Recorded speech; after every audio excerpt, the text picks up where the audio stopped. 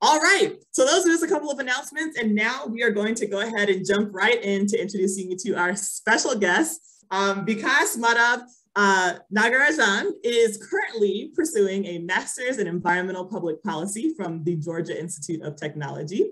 Um, he's in his first year. He has been a naturalist for over 15 years and is a reviewer for citizen science platforms such as eBird India and Butterflies of India. He has published several natural history articles, mostly on butterflies. Along with others, he has compiled the first comprehensive checklist of the butterflies of Chennai, he has led several surveys and expeditions to the Western Ghats and Western Himalayas and has traveled to 16 states in India. He was the recipient of the Young Naturalist Award in 2014 and is also an active campaigner on local environmental issues. And so because we are so thrilled and honored to have you joining us today and sharing all about your adventures in the wonderful birds of India. Um, and so I'm gonna go ahead and pass it over to you. Thank you so much. Thank you. Thank you so much. And thank you for having me here. So I'm going to try and share my screen now. And there we go. So can you see my screen? Yes, you're perfect. Oh, cool, very good. So hi guys, and I'll be talking today about my experiences with uh, bird watching in India. So I started bird watching when I was my first grade. So that was quite some time back because now I'm like 22. So that was like when I was, I think, six years old. So I've done a lot of traveling over the years and I don't have any favorite place per se to talk about. So I thought, well, to give a whole rounded view of India, I'm going to try and target the habitats we have in India and talk to you about the birds you see these different habitats and where exactly these habitats in India are. So what are these habitats we're going to visit today? So we'll start with, the, with urban India because we are known for our large population, which doesn't only have a lot of humans, but also has a lot of treasured wildlife, including birds. Then we'll go slowly towards grasslands, scrublands, rivers, wetlands, mangroves, coastal ecosystems, and then a variety of forests. So I have classified them as lowland forests, which are pretty common in India and higher elevation forests, which I've subdivided as they as higher elevation forests differ from different regions in India. Unlike lowland forests, which predominantly have pretty much the same species of birds, that's not the case in higher elevation uh, um, uh, forests in India. So I have classified it in that aspect. So let's get to it, shall we? So starting with cities and urban India. So India ha- has a lot of people. And for all that people, we need to have a lot of infrastructure. But even though that there's a lot of infrastructure and concrete jungle in India, we somehow have space for having a lot of animals because it's kind of in our culture to have a lot of trees around us and have, you know, small gardens and stuff like that. So community gardens and having avenue trees has helped maintain and stabilize, you know, a, a, a, significant amount of diversity. So when it comes to birds, we pretty much see the same species of birds in most Indian cities. However, there are like small changes if you're in the north part of India or in the southern part of India.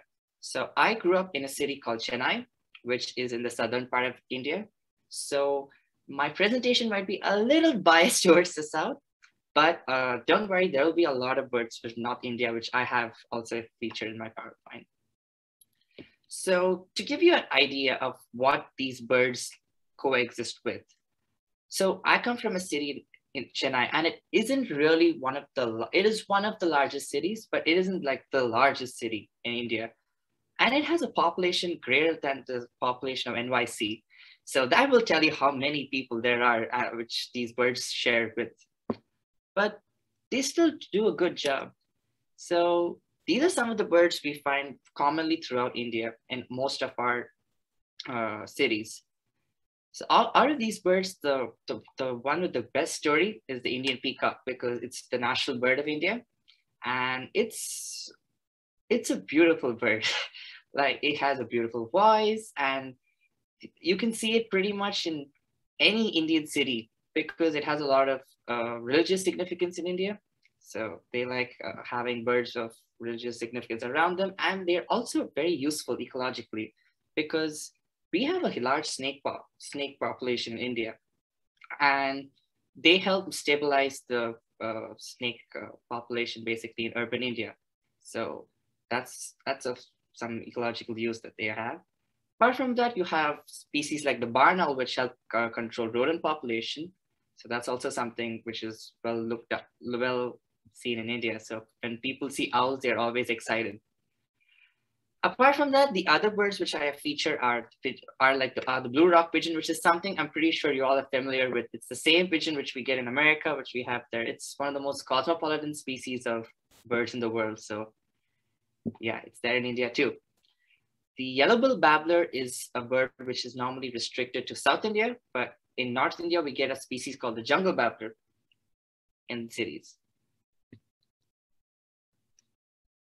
So coming to more open spaces. So we're, we're from the city, we're going to start moving towards more open grounds. And in India, we have a lot of these kind of open places.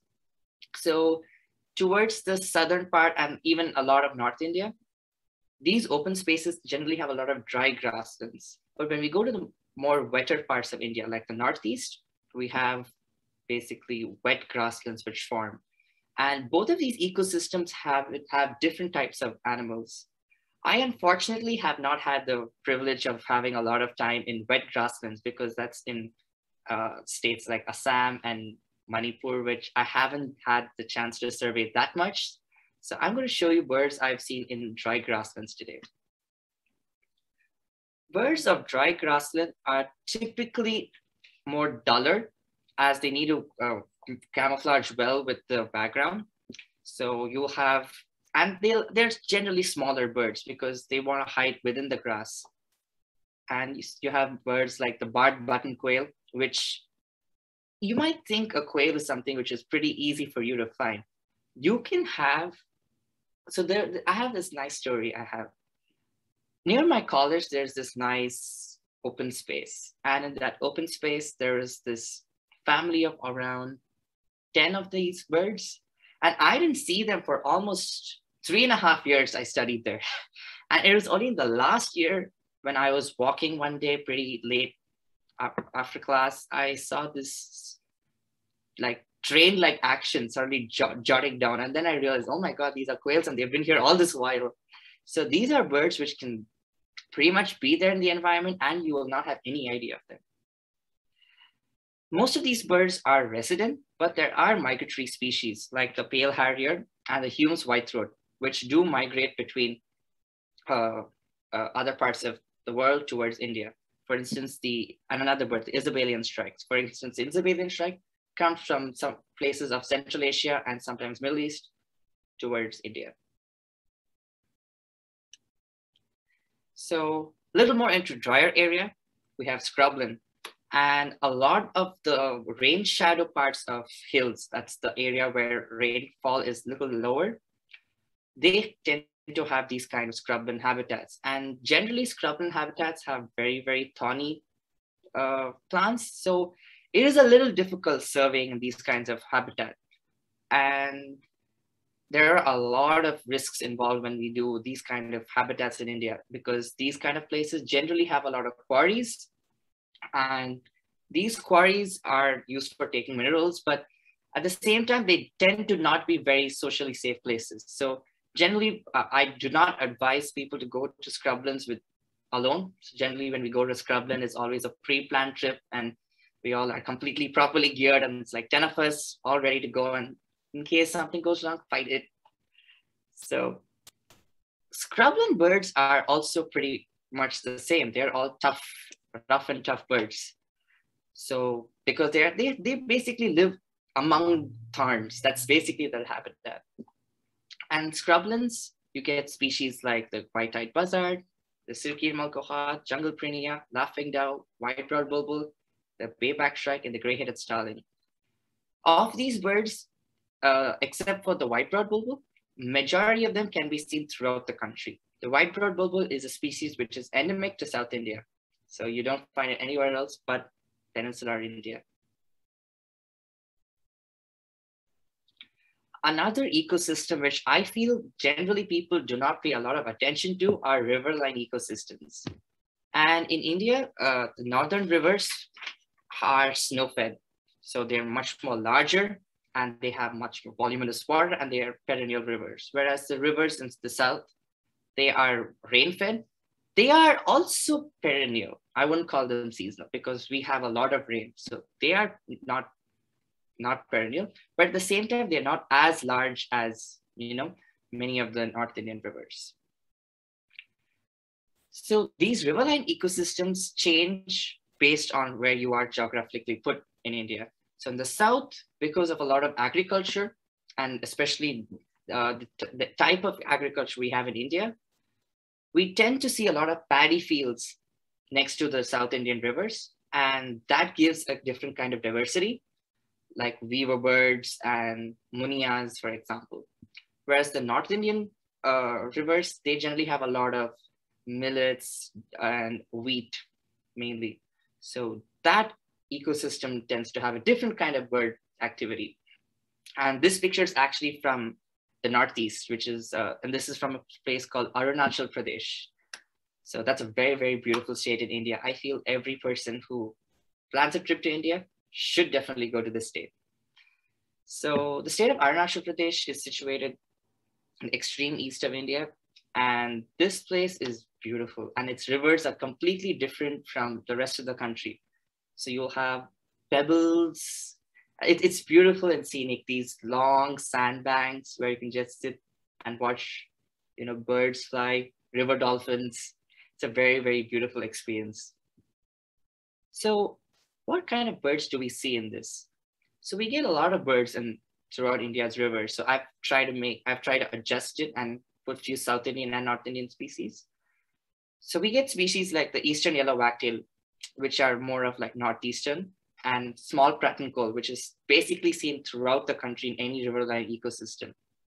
And as the name suggests, the river tern.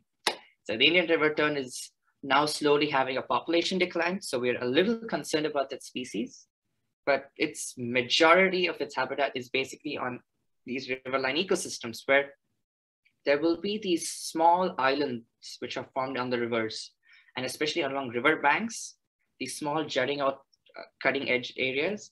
So these areas with nice grass pastures, pastures help breeding, uh, help in the breeding of these birds.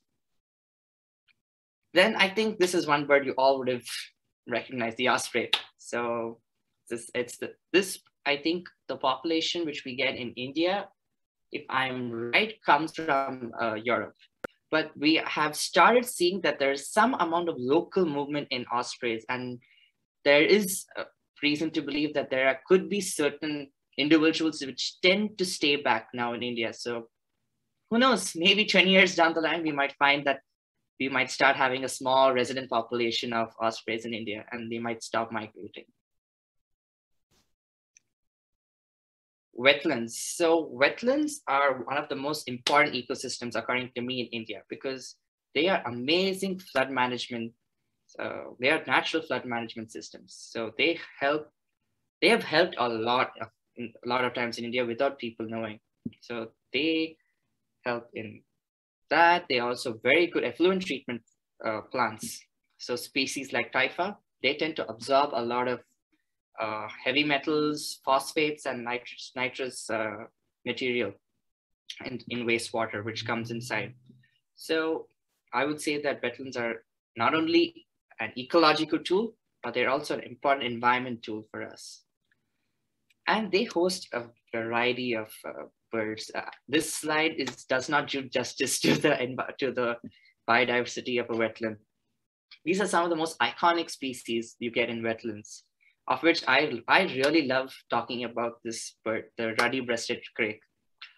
So this picture took me almost 10 years to, it took me 10 years to take this picture because this bird would just not sit. it's a very, very shy bird. And I have seen this bird since 2000 and I think 2008 is the first time I saw this bird in a small wetland in my city. And all my sightings after that have just been dashes of the bird. And so they're very shy birds. I'm pretty sure all of you would have also had similar, you know, uh, interactions with crakes and rails. They're very very shy birds. So that doesn't change wherever you go in the world apparently. So they're still as shy as they are in America. Same goes with the slaty breasted rail. That's also an equally shy bird, but not as bad as the ruddy breasted crake. The ruddy breasted crake is a much more shyer bird. Wetlands also host a lot of uh, migratory birds, such as the citrine wagtail and the gray-headed lapwing. So these birds fly. I'm not very sure where the citrine wagtail comes from. I I believe it's from Mongolia. I'm not very sure. Whereas the gray-headed lapwing also comes from uh, Southeast Asia and Australia, that belt.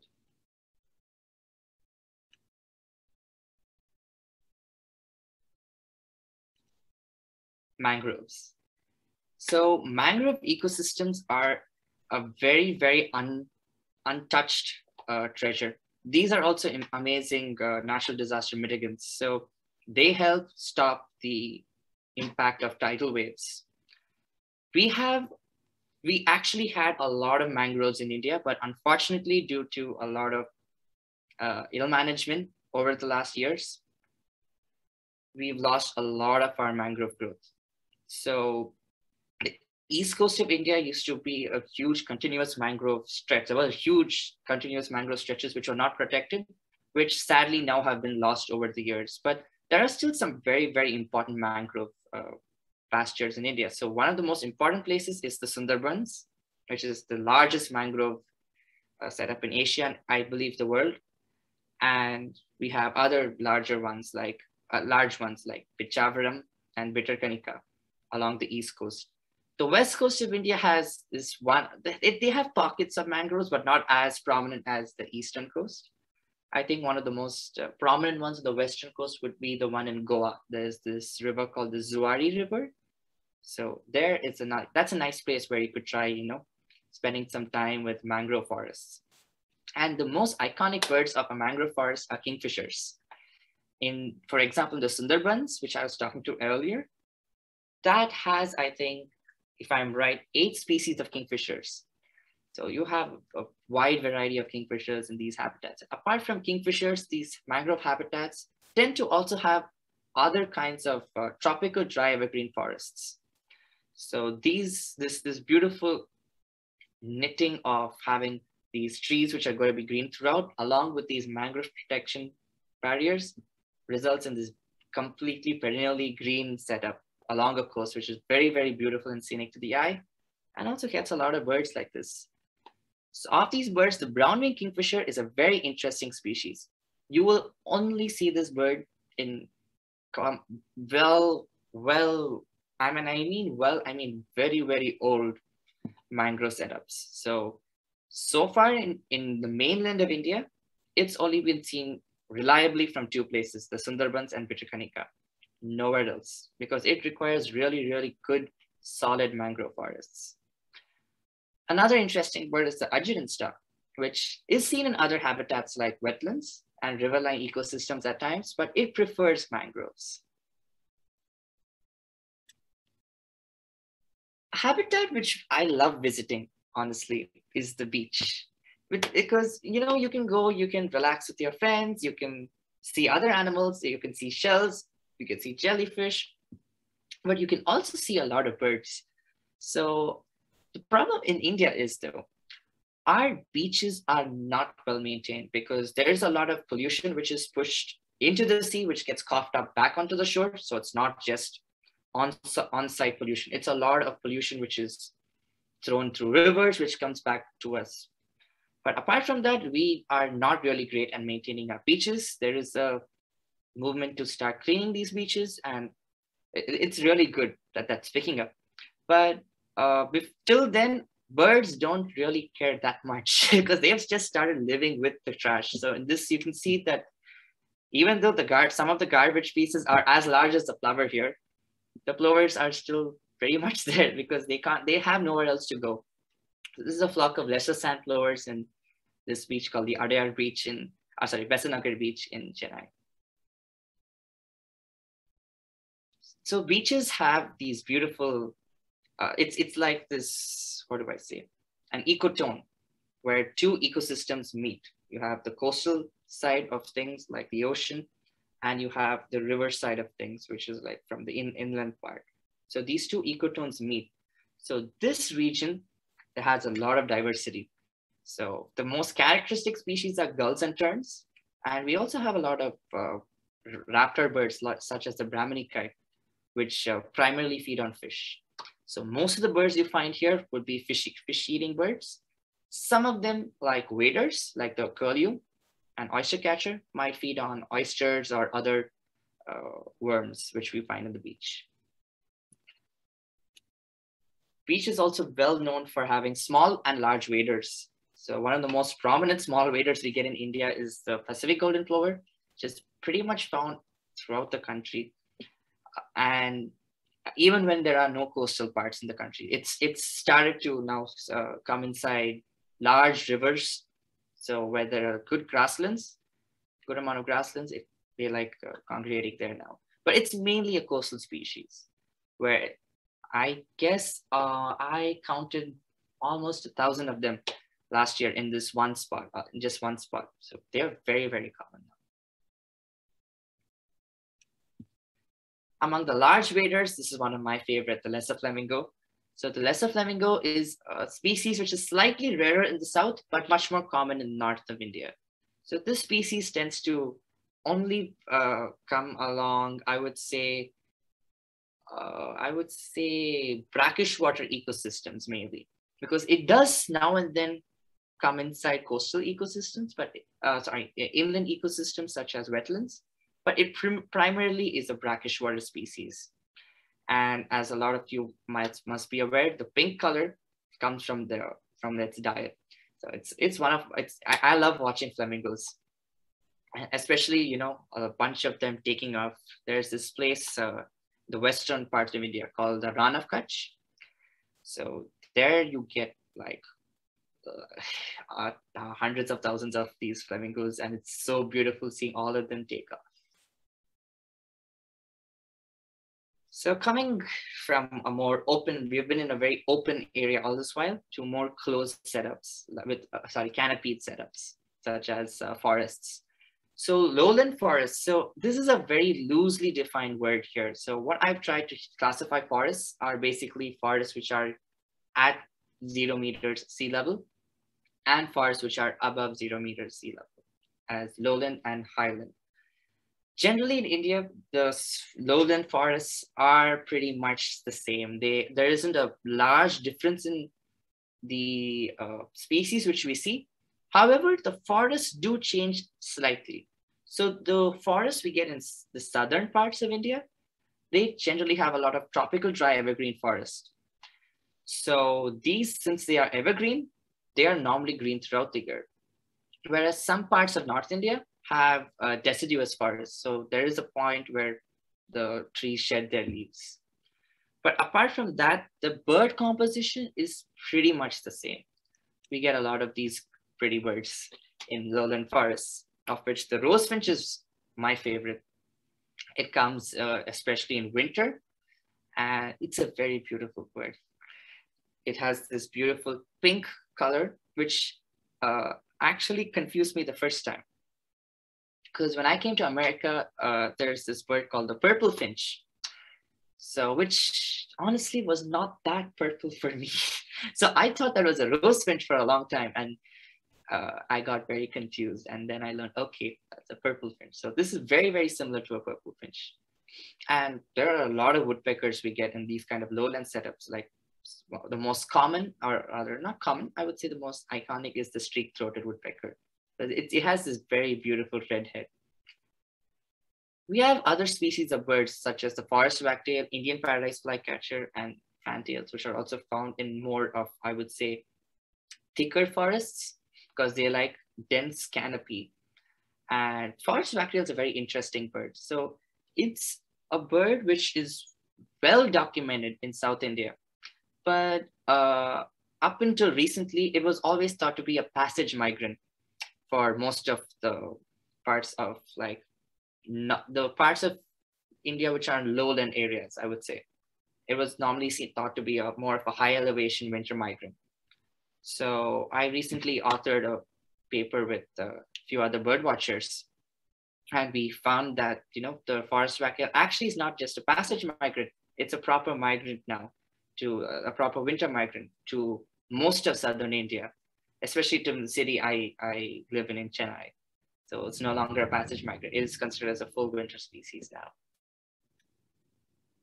and another interesting thing about this is, uh, in this slide is the crested serpent eagle so as the name suggests it feeds primarily on snakes. In fact, I, I will go as far as to say I haven't seen it eat anything else.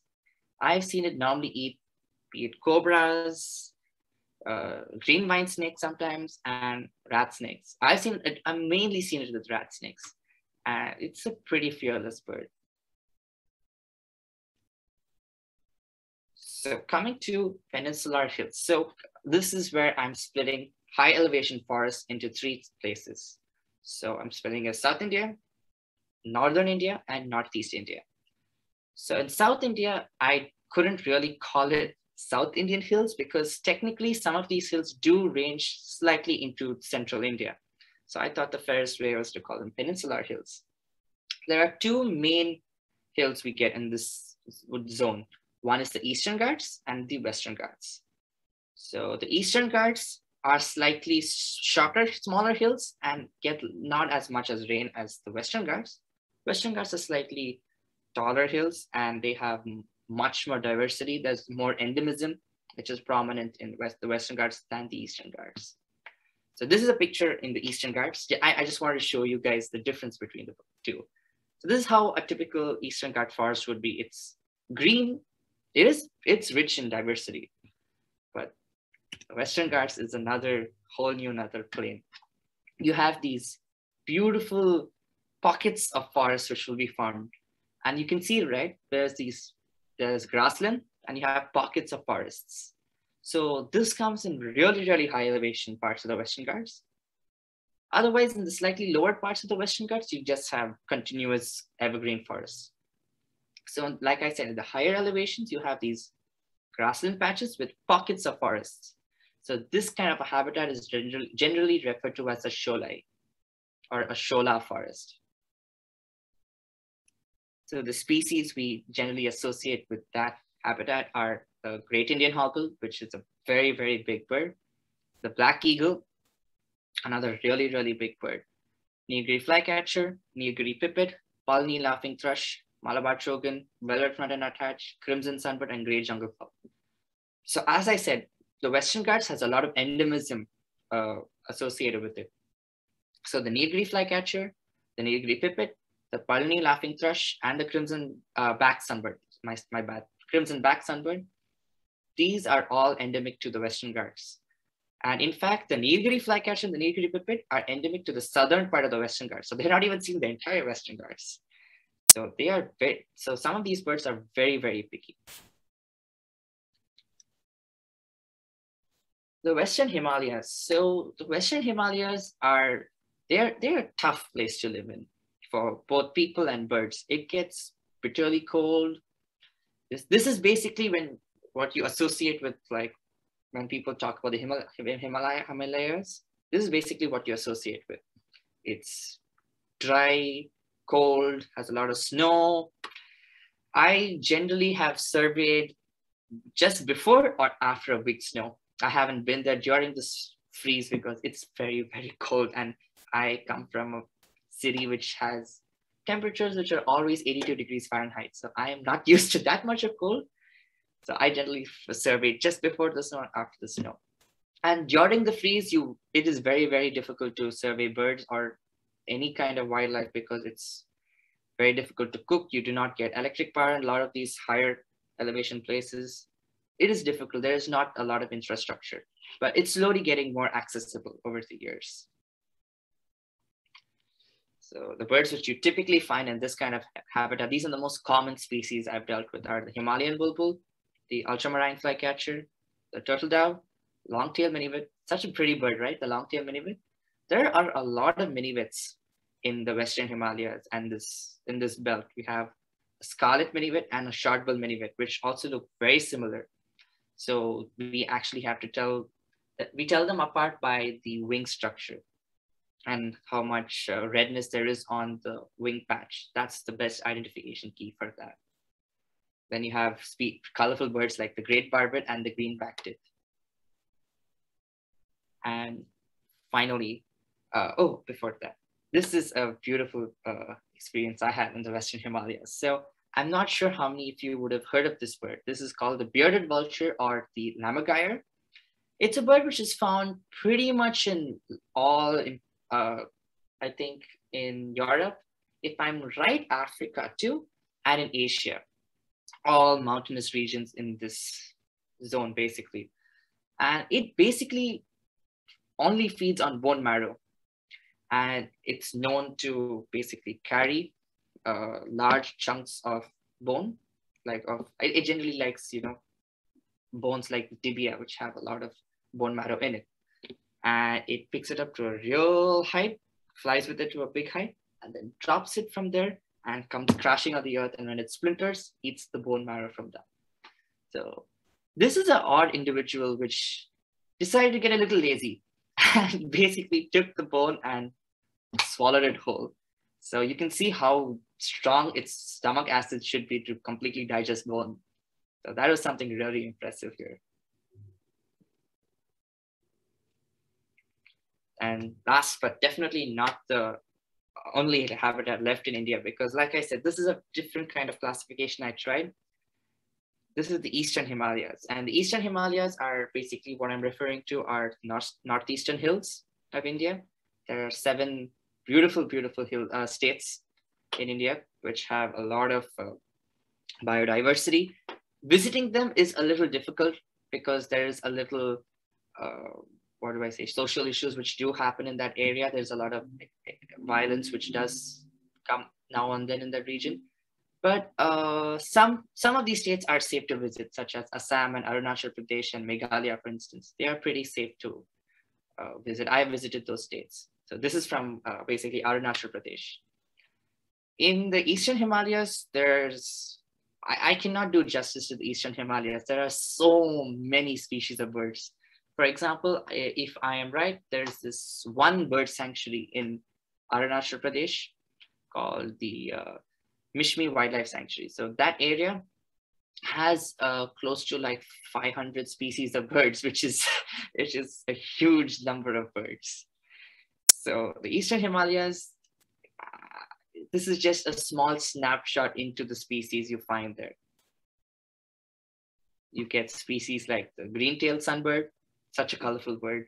It has almost all the prominent colors of a rainbow on it. Darker shades, but almost all the colors are there on it. The golden-breasted fulvetta, black-throated parrotbill, striped yuhina, lesser cuckoo, golden-throated barbet, and Blyth's leaf warbler. Northeast generally, or the Eastern Himalayas, generally has a lot of birds which we do share with Southeast Asia. So for folks who want to get like a taste of Southeast Asia too, you should definitely try a trip when you're going to India to go to Northeast too, because you get some of the species we get in Thailand here. Not all, but just a small, you know, sampler of what you get in the East or more East. So yeah, I will now open the floor to questions and this is how you can reach me. Yeah. Oh, here we go. because I have been sitting over here with my jaw on the floor. Um, your passion and joy around the birds that you've seen and exploring the habitats in which they live is so palpable. Um, and it's such a joy to be able to witness. Thank you so much for sharing all of that with us. I have to ask first, did you take all those pictures? Yes, all those are my pictures. Yeah. Wow. wow. Vikas took all of those pictures for those of you who may have missed that. Um, it is so wonderful to see just how thorough, how thorough your exploration and surveys have been that you've been able to capture so many incredible shots of so many different species. And I know this is only like a subset, I'm sure, of all that you've seen, um, but it's been wonderful to be able to, to, to witness that. Um, so question that I have, and again, if you have any questions for Vikas, uh, you can put your question into the Q&A function at the bottom of your screen and I will relay them to him. Um, so that we could uh, get those get those answered.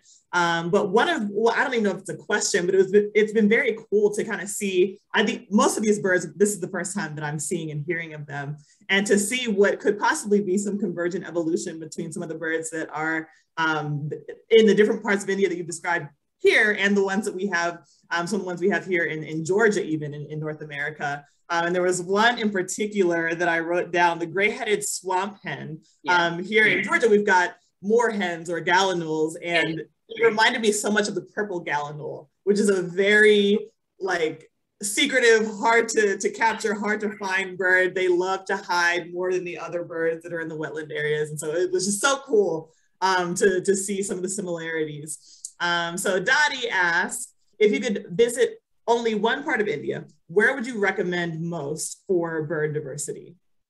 For bird diversity, I would say the Northeast. It's amazing. Nowhere in India comes close to that. That's incredible. Is that the is that the area that you were just talking about as yes, far yes, as like yes, exactly yeah the last one especially the state of Arunachal Pradesh.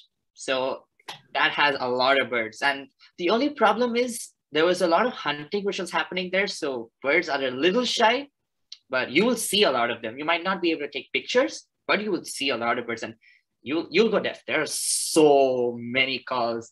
You'll not know where to turn your head because you'll have so many calls. You, it's a different experience. It's a completely different experience.